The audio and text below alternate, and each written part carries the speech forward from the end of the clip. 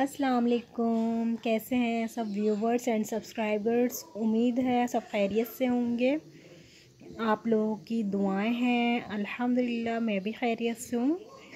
आज मैं आपके पास एक नई वीडियो लेकर आई हूँ, जिसका नाम प्रेटॉन सीरप है। प्रेटॉन सीरप जो है, खांसी का सीरप होता है।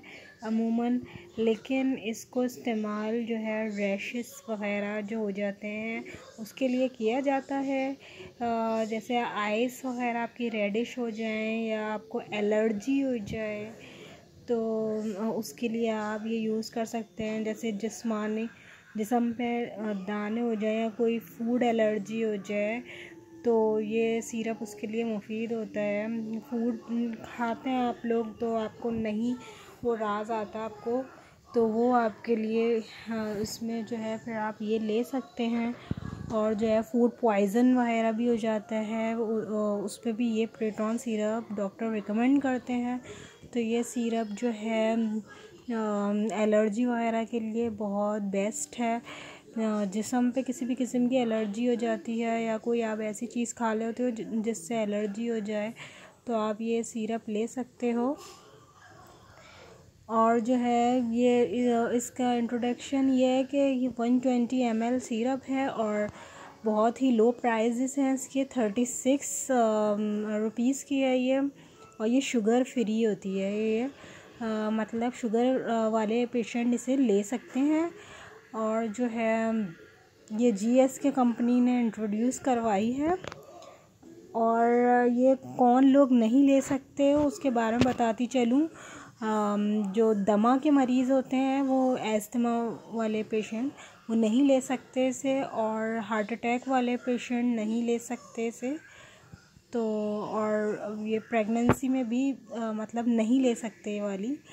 और जो है मैंने आप लोगों को एक वीडियो में प्रेगनेंसी में भी जो सीरप लेना है वो बता चुकी हूँ कि वो कौन सा लेना है।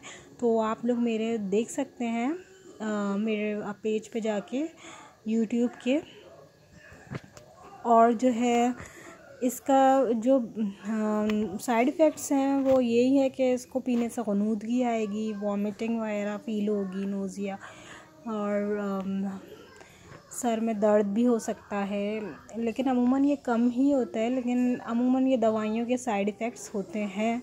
तो इसलिए दवाई को तरीके से इस्तेमाल किया जाए और जो है ये दिन में जो है तीन स्पून ले लें आप लोग, जैसे सुबह वन टेबल स्पून और दोपहर को एक चाय का चम्मच और रात को एक चाय का चम्मच, ये बड़ों के लिए है, छोटों के लिए हाफ़ हाफ़ स्पून है दिन में तीन दफ़ा।